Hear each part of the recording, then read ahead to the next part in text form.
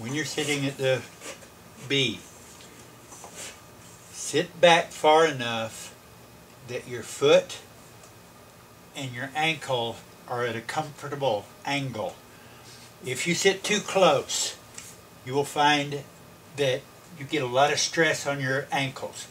So sit back a little ways and it will make it very easy to treadle without stress and the extra distance will give your yarn time to even out so that the twist is more even.